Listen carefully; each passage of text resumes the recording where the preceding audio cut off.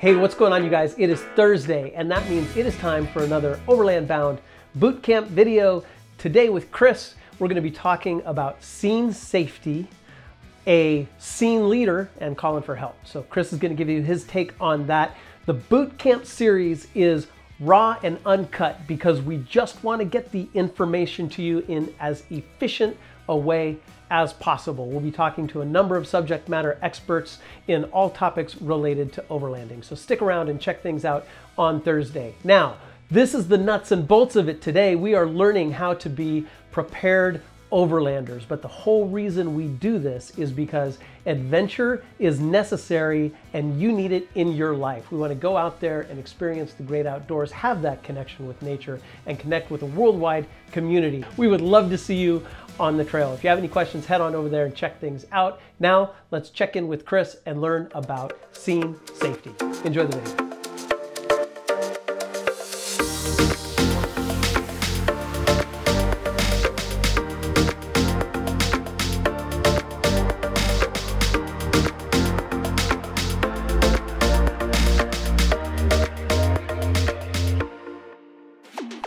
Welcome back to another episode of On Call with Chris. Yes, still on call. And uh, thought today I would talk about scene safety, scene leader, calling for help. What do you really do when you come across an accident? Like, what's really the first thing that you should process through your um, mind and, and figure out what you want to do before you even get out of your rig or go to approach the patient? It's something that I think is important to discuss because there are rights and wrongs, things that you really should do and things that you really shouldn't do. And I think that when people are faced with these situations and they're not trained or haven't thought about it, they may tend to rush into it. And that actually is where you can get into trouble, um, not just harming the patient, but actually becoming a patient or a victim yourself. So I thought it's a topic that's, uh, that's important. So there you are. You're minding your own business, either driving down the road, driving down the trail, sitting at camp, and something happens. Some bad situation occurs. Uh, it's usually going to be traumatic. It could be isolated to a person who falls, or it could be uh, kind of a natural thing where a tree falls, or it could be a mechanical thing like a chainsaw injury. That is the scene. When, when you come across somebody we call that the scene. It is not just the patient, but the environment that the patient is in, what is going on around them, what was the mechanism, how did they get hurt, is there potential for that to hurt more people, and how do you prevent any of that from happening, right? So, to be honest, step one is scene safety. It is to make sure that before anybody goes in to help that patient, the scene is safe for people to go in that's a really hard step for people to take that time to make sure that it's there. Uh, if there's a burning building, you obviously want to run in and save somebody, but you may become a victim yourself. If there's a car that's rolled over and it's unstable and it's teetering, if you go to crawl under that car to pull that uh, victim out, you yourself may become a victim. So, really, that scene safety it has to be done quickly, obviously, in those situations, but you really need to make sure that you take that time to do it so that when you come to a scene, you need to make sure that there's a potential for a fire or a potential for a vehicle to continue to move, or if a tree has fallen and the tree is not completely down, that it can move again. If there is somebody who got injured by a chainsaw and the chainsaw is still running, all of these things need to be considered before you really approach uh, the patient. So that gets into the scene leader as well, because if you've got multiple people who are there and can help, somebody needs to be in charge. And and you really, if you're the one who feels confident in doing it and you know what needs to be done, it's okay to tell someone, go turn off that car. Hey, go get me some logs to support that uh, car so it doesn't roll over on us. Can you turn off the chainsaw? Can you go get my kit so that you can assess the scene? Um, it it helps if you are out with a group of people, especially people that you uh, maybe aren't as familiar with as overland bound meetups tend to be, that you have these conversations. Hey, what, what do you know how to do? Could you be the mechanic? Could you be the first aid person? Could you be the comms person? You know, do you like to cook? Do you want to cook? I mean, this is part of that community that we talk about that we, we want to know what everybody's capable of so that when something happens, we know who to go to to ask for help.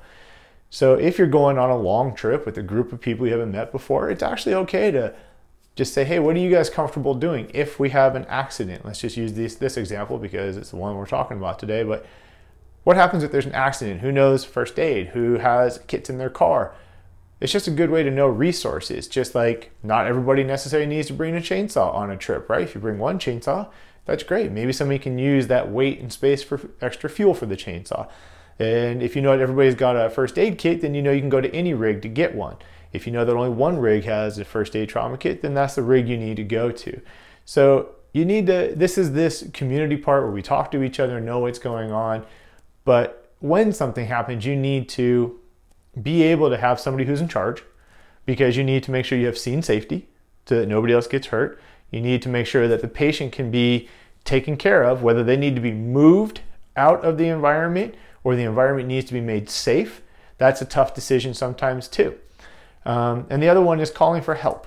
It's super important that in the backcountry you decide how you are going to get that person to help because nobody carries everything they need to do to take care of somebody who is seriously hurt. You can temporize and you can slow down bad things from happening, but you eventually need to get them to proper care. So is that going to be an evac where we drive them out or is that going to be somebody comes to us? Those decisions need to be made pretty quickly. A lot of that will depend on the type of injury, where you are and what who you have around training wise. Even if I'm out, I am quick to call for more help because as much gear as I carry and as many things as I know how to do, I know that my limitations are really where I am at in the environment and I don't have everything that really needs to be done. So when you come to a scene, please take the time to assess it. Make sure that the dangers are removed. And if you can't remove the dangers, you need to move the patient.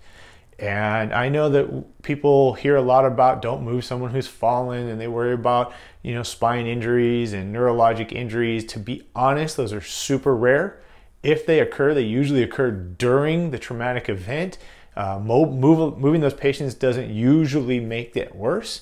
Um, and if if the thing is that their car is on fire and it's upside down and it's not particularly stable and you're not going to be able to make it stable before the fire causes a problem you need to get that person out. Whether you just drag them out and deal with whatever happens afterwards is that's just a tough call but that's what you need to do. So scene safety think about it. That's what these videos are all about. I'm not here to teach you the formalities of it. I'm here to get your thought process going so that when you got a few minutes here and there, you can actually think about these things so that when you are actually faced with them, you it's not the first time you had to think about it. So please think about scene safety. Think about if you could be a scene leader and want to be a scene leader or may have to be even if you don't want to, what would you do? How are you going to call for help? Look at the communications you have in your rigs. Where are you? Does somebody have satellite phone, satellite texter, SOS buttons, personal locator beacons? Um, everyone doesn't need to carry one as long as there's one and everybody knows how to use it or where it is. So there's there's today's on call with Chris. Keep your scene safe. Make sure that nobody else gets hurt. Get the victim out of harm's way as soon as safely possible. Call for help. Call for help early. That's it. So again, I'm also Solis on the forums, overlandbound.md on Instagram. If you've got questions, please reach out to me. Um, I, I really want to make sure these videos are for you and that we answer the questions that you guys want to know the answers to, or at least the topics that you want to hear uh, discussed. So message me, put them on the forums, and uh, we'll see when I can get to the next one. Everyone take care.